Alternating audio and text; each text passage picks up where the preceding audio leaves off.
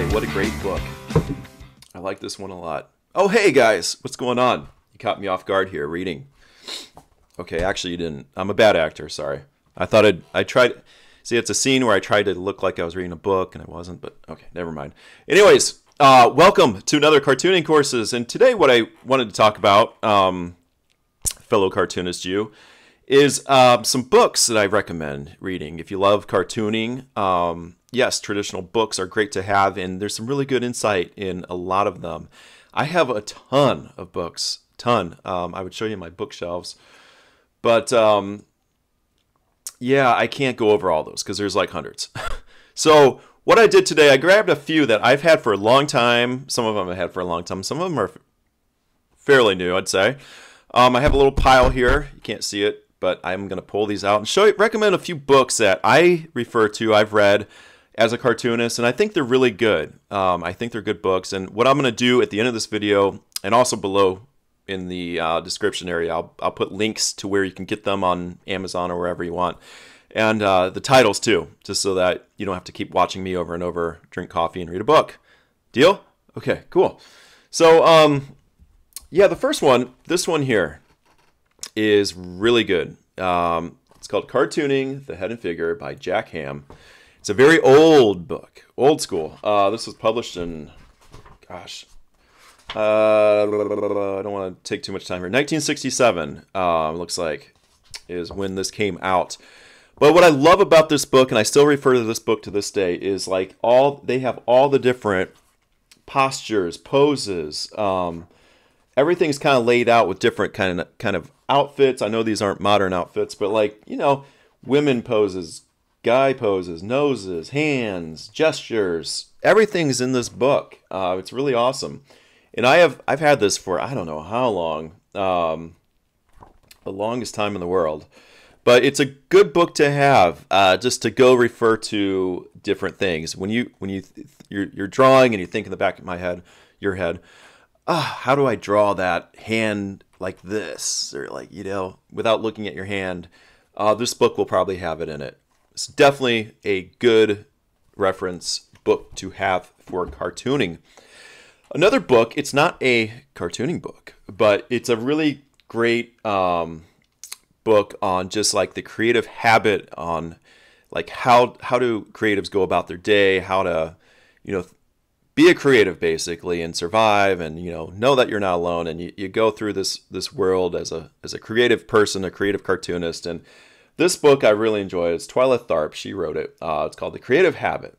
Learn it and use it for life. And it's just about, in general, like the title says, creating habits too. Like um, I've always been, I well, if you've taken my uh, my course already, you know I always advocate like habit is essential. Like you got to get in a drawing habit, you got to get in a writing habit, you got to do all this to be. I know it sounds complicated, but it's not. Once you get in that habit of doing things, um, it's great. That's how you become a cartoonist. You got draw, draw, draw, write, write, write, submit, submit, submit. There's a lot of pro- there's a big process to it, but this book goes over a lot of that. Um, she's an awesome she's choreographer for the. I don't want to mess up the name here. Sorry, Twyla. I'm not good with specifics, but for um, in New York City for the ballet, and I for, I just forget if it's a specific like ballet company, but she's big. She uh, choreographed the uh, like ballet dancing in the movie Amadeus, one of my favorites. And I'm not into ballet at all. I'm not, but uh, it doesn't matter. She's a creative person, and it's a great book. Great to um, to hear her story. This one too. This is an oldie but a goodie. Um, it's called On Writing Well. Definitely a good one by William Zinsser. I hope I don't mess up his name, but um, this book has been around for a long, long time. You may have heard of it. I know a lot of writers definitely recommend it. And uh, it's good. It goes over just writing in general. And that's something again i've always said like cartooning is writing mostly more than art.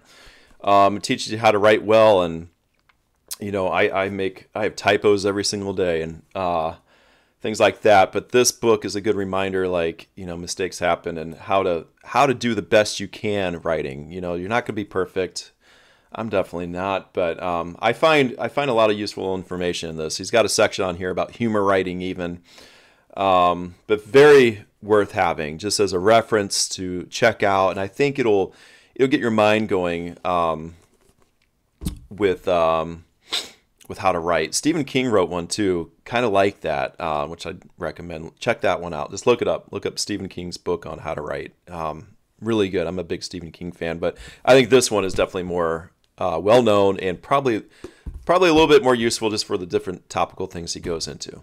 So that's a good one.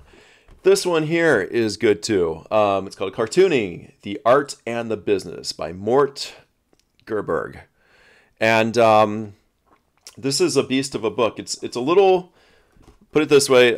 I want to say it's a little outdated. It is because it talks about like the old submission processes and things like that. But but but but if you think in the back of your head like the modern way of going about it, the book still has a lot of good insight in it. Um, there's a lot of il- illustrations, uh, cartoons about you know, it, just, it gets your mind thinking about submitting and drawing and writing and everything. And it's really well, I mean, it's a huge book too. It's really well put together.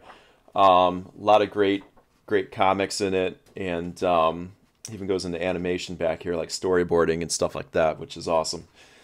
So yeah, check this one out too. Um, I bought this a long time ago. I wouldn't mind reading it again at some point. And oh, this one, my daughter drew on the back of that. How cool is that? Her and her scribbles. She's three, so happens. But um, yeah, really a cool book there too. Uh, this book is again not not essential for cartooning, but I really enjoyed it. I really enjoyed it. It's How to Be Like Walt. I'm a big Walt Disney fan. Um, this is by Pat Williams, and uh, what I love about Walt is just the fact that you know he started he, basically started off as a cartoonist, and he um, you know, he, he was in Kansas City and, you know, not much happening there. And he just took his ideas and brought them to life. And, you know, he wasn't born into cartooning or anything or the animation. He, he had to go through a lot to, uh, to get to where he was. And he experienced such major failures and blunders. Um, you know, he put all his money and everything into like Snow White, for example. I don't want to give away too many spoilers. You may have heard the story already, but like, he put all his money into Snow White. And if that would have failed, he would have been broke and just there's stuff like that. But he kept going, and you know he did have a lot of failures with his his his uh, movies, and he had a, a strike at his studio at one point, and just like building up the whole studio and how you know Mickey Mouse came about and everything is just such an inspiration. I mean, who hasn't heard of Walt Disney? You know. Uh, and I, and I just think it's there's a lot of cool little elements in this book. Um, some of it gets a little preachy sometimes, but it's it kind of talks about how to kind of have his mindset and kind of what he went through. And um, I don't, I just enjoyed it. I think it's a fun read too. It just it went. It was. I read this in just uh, a few days, uh, which is rare for me. It usually takes me a while to read a book. So recommend this one as well. Last but not least, this is one of my newest ones. Um, it's How to Read Nancy. It's called. Uh, it's by Paul Karasik and Mark Newgarden. Um, let's see if I can get this all on tape here. Okay, yes, it's a big book. It's big. Can't even see my head. Hey. Um, but yeah, it's a it's a cool. It's about uh, it's got the the subtitle is the elements of comics in three easy panels, and it talks about like how it's one Nancy strip that they use as an example, and how it why it works as a comic um, so it goes into everything from the panels to the sketching to why the gag works, why it's funny, why the, the art is good. Um, and it breaks everything down. And then, um, you know, it gives a little backstory on Nancy as well and how it became a, a comic. You know, Nancy just got a reboot recently, but this is all about the old school Nancy comic, which I was never never into or anything like that. It's not about I you know, the book isn't about like Nancy per se. It's about just knowing the elements of a comic strip and how to piece it together and a really good book. Um really good. I highly recommend buying this. It's just cool to read, cool to check out. I think you'll really appreciate what goes into those three small panels and um, you know, you can always anyone that gives you a hard time about being a cartoonist, you can you know sock it to them and, and, and mention all that goes into that. Um, it's not easy to do three panels or one or five or you know thousands uh, and create compelling work. And this book really kind of talks about that. So those are just what one, two, three, four, five, six examples. Six examples of good books. Again, I have thousands of books here. Um, you know, off the top of my head, I was mentioning like you know, read stuff like Mad Magazine is great with for cartooning. Um, there's things like uh, joining the National Cartoonist Society. They have a, a publication that comes out every couple months, which talks about cartooning. I mean, there's all kinds of resources out there. Obviously, the internet, but these are books. Um, these are books that I personally recommend. I've read. I I, I, I like them. I think they're good, and uh, I think you would too, being a cartoonist. Um, so check them out. And um, what are you reading? Do you have any books you'd like to recommend to me? Maybe I haven't read them yet. Um, there's a lot I haven't read. I know that for a fact. So yeah, if you have any good recommendations, let me know. Uh, maybe it's more about the business of cartooning that that's out there. I know there are some um, like art books that talk about business and things like that. Uh, maybe it's something else. Um, I got one the other day about the animation of uh, Kung Fu Panda um, somebody gave it to me as a gift. The art in that, and that's really good too. I just I haven't read it yet, so I can't recommend it yet. But uh, there's so many books out there, a lot of resources. But um, yeah, I just want to share those with you. I I I, think they're good. Again, I'm not going to repeat myself. good books, they're great. Uh, so yeah, and if you have recommendations, I'd love to hear them. Leave a comment below. And again, I'm going to mention there's a big, brand new course coming out soon it's gonna be. I'm very proud of it. This is like my, uh, what do you call it? Um, I don't know. It's my. I've been working on this for months. I'd say years almost, putting it together. It's my Sergeant Pepper. Put it that way. It's going to be about the business of cartooning, creating cartoons that sell, um, actually gaining profits off of them. I mean, in a much much more broader way than my free uh, three part course.